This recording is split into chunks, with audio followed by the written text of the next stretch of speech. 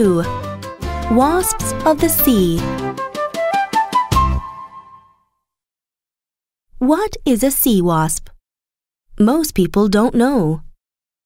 Can you believe it's more dangerous than a shark? It's true. Sea wasps kill more than 80 people in Australia. A sea wasp is a kind of jellyfish. It can grow to be about 20 centimeters long. Its body is made mostly of water.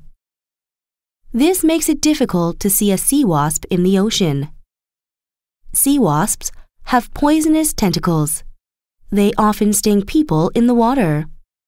This is very painful. The sea wasp's tentacles stick into your skin. After a sting, pour vinegar on the tentacles. This will kill them. Then you can remove the tentacles safely. Then go see a doctor.